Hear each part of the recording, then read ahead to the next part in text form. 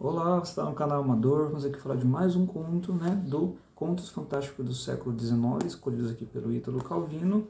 Se trata de um texto do Walter Scott. Eu nunca li o Walter Scott, é a primeira vez que eu estou lendo, ele é mais conhecido como o autor ali de Ivan Noé, né? Aqui a gente chama a história de Willy, ou Vagabundo. E aqui é como todo texto ali, né, fazendo uma rápida pesquisa, você descobre que ele colocava dentro dos seus textos um pouquinho ali da história da Escócia, dessa época, né, que a gente está falando do século XVII. Da Escócia, da Inglaterra, da velha Inglaterra de sua formação, reinos feudais, cavaleiros, enfim, tudo isso. E aqui a gente vai envolver isso.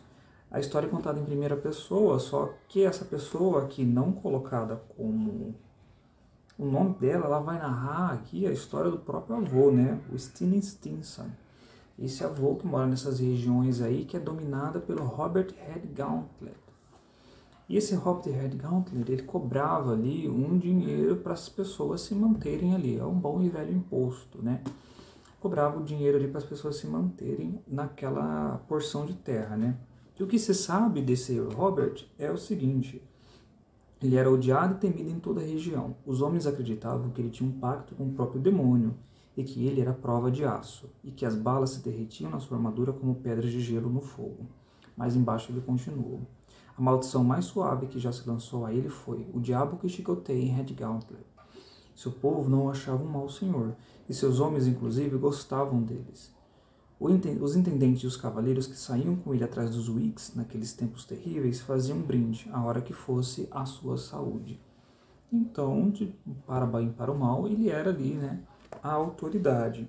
E o Stinson, né, esse avôzinho, ele era um pândego aqui, dizendo, ó, ator na juventude tocava bem gaita. Ele era chamado a algumas festas ali dentro do, do, da, do reino ali de, de Sir Robert, ele era chamado para tocar gaita era muito conhecida por parte disso. A diferença é que ele estava devendo. Chegou um, um tempo ali que ele não conseguiu bancar ali o pagamento ali mensal, né, do dinheirinho ali, e ele estava devendo, né. Outra coisa interessante é que essas festas aconteciam ali em meio como se a gente vê hoje, né. A gente vê as mazelas ali da sua população mais baixa, né, enquanto a população mais alta ali usufrui de privilégios. Aí ele coloca aqui, ó. Então o parlamento fez vista grossa. Sir Robert salva a permissão para caçar raposas e não com governanters. Continuou o mesmo de sempre. Ou seja, tinha ali uma disputa entre Whigs e Tories, conservadores e meios liberais ali, o Sir, Tory, o Sir Robert ali no meio. Mas ó, suas festas ainda eram muito animadas, e o seu salão bem iluminado, como sempre fora. Mesmo que talvez ele tivesse começado a sentir falta dos tributos dos insatisfeitos dos insatisfeitos que vinham se encher nas suas dispensas e celeiros, pois é certo que ele começou a ser mais atentos aos arrendamentos de seus vassalos, e eles esforçavam para pagar no prazo, pois do contrário ele desagradava muito. Então já vê, né, que precisava, estava sentindo falta ali do imposto. Ele era mesmo tão bravo que ninguém queria provocar sua ira. Lançava maldições e às vezes entrava em tal delírio e olhava de tal jeito que os homens pensavam estar presença do próprio demônio. Você vê um puxado aí, um traço quando de ira, de uma ira tão grande que ele é colocado ali num semblante de um demônio. E o demônio aqui dentro dessa história tem um papel preponderante. Aí ele, continua narrando aqui, né, o principal voz aqui do texto continua narrando a história do avô. O avô não consegue ali juntar dinheiro, por mais que ele tente ali nas festinhas tocando gaita, algo do tipo não consegue juntar dinheiro. Ele pede dinheiro emprestado para poder aí depois conseguir pagar aqueles dois que estavam faltando, dois meses mais ou menos que estavam faltando. Então ele consegue ali pagar a quantia, né, que está devendo para para o Sir Robert e quem recebe ele ali é o Dougal, que é o criado, o mordomo, algo do tipo, né? Ele recebe ele, o Sir Robert também recebe ele, ele paga o que deve e nisso ele vai fazer ali o recibo, né? Enquanto ele faz o recibo, a contagem do dinheiro, ele pede para ele tomar uma coisinha ali numa saleta que tem do lado. Mas no momento que ele está ali indo na saleta, o Sr. Robert tem um mal súbito. E nisso que ele tem um mal súbito, ele acaba falecendo, né? E dado ali a movimentação ali dentro daquele espaço, ele acaba indo embora, né? Acaba ficando assustado e vai embora. Só que ele precisa do recibo que ele não recebeu ali, né? que comprove que ele pagou o que está devendo. Tanto que, o que acontece? Depois da morte do Sir Robert, quem vai tomar ali a situação, né, o controle de tudo aquilo ali, vai ser o próprio filho dele. Ele vem lá de fora, o filho dele não tinha lá uma boa relação com o pai. Ele vem lá, ele é formado como advogado, é o John ou Johnson. Ele vem, toma ali a situação de que tudo está acontecendo, que está ali, como é o controle daquela situação, e vai fazer o interrogatório com o próprio Stinson para perguntar se de fato ele pagou né, o que está devendo. O Stinson vai até ele, né, tem ali uma conversa e ele está ali falando ao mesmo tempo que ele pagou, só que ele não recebeu um recibo. Ele pagou, mas não recebeu o recibo. No ato que, ele, que o Dougal estava fazendo o recibo, ele, o Sr. Robert acabou falecendo, né? Ah, mas aí o que aconteceu? Ele foi também tentar interrogar né, o, o Dorgal, só que como ele era muito próximo ao Sr. Robert, em uma determinada noite, outros criados deram um grito no castelo ali, um apito, algo do tipo, eles saíram correndo para ver o que estava acontecendo, entraram no antigo quarto ali do, do, do patrão e encontraram o mordomo morto. Né? Ou seja, mais uma testemunha ocular de que o Stenson tinha pago acabou falecendo.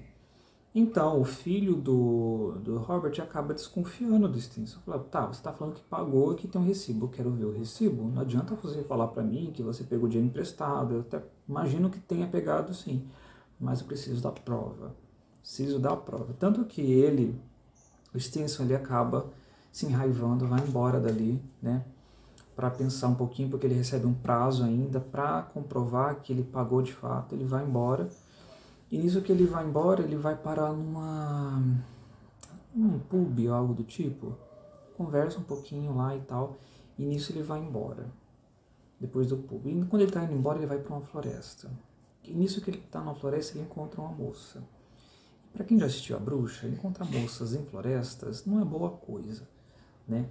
E lá ele pede para tomar um, eles chamam de brandy, né? Um gole de brandy que a pessoa tava, ele tava com sede, ele toma esse brandy.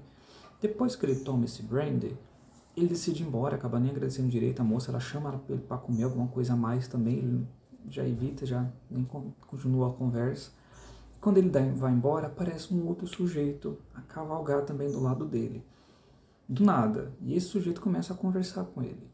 Eu vou parar por aí, depois que tem essa conversa, vai acontecer algumas coisas interessantes aqui Aí resta a dúvida se o Stisson conseguiu provar que ele pagou ou não né, o, o, aquilo que ele está devendo, paga o que me deve. Né? E assim, o, o conto fantástico aqui, a parte mais fantástica nessa história toda, cai muito na questão gótica, né, que tinha muito aqui dentro da, desse ponto, né, o próprio grito dentro do castelo, um, imagina a situação, um castelo escuro, né, o, dono daquele castelo falece, Ouve-se gritos depois no quarto daquela pessoa e encontrada a pessoa morta. Florestas escuras com pessoas ali, aldeãs, morando dentro dessa floresta. Essa pessoa que surge do nada, não é dito quem é o nome dela, não é dito de onde vem, para onde vai. Apenas há uma conversa ali com o Stinson, uma conversa bem capiciosa.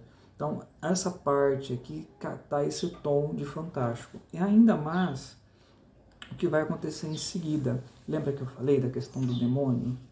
Que isso muito tem a ver com a personalidade ali do, do Sir Robert, que ele, na ira, ele é muito ali colocado como algo demoníaco, algo assim. Então, isso vai acontecer, isso vai ser retomado logo na sequência dessa conversa aí dentro da floresta com esse sujeito aí que ninguém sabe o que aconteceu. Mas para saber o que vai acontecer em seguida, que tipo de conversa como ele vai provar ou não ali que pagou de fato que ele está devendo, só lendo o conto mesmo, gente. Um conto muito legal, interessante e que vale a pena ser lido. Se você gostou do vídeo, curta, se inscreva no canal. Vai ter próximos vídeos aí do Contos Fantásticos aqui do século XIX pelo Ítalo Calvino. Só aguardar, nas próximas semanas saem. Até a próxima.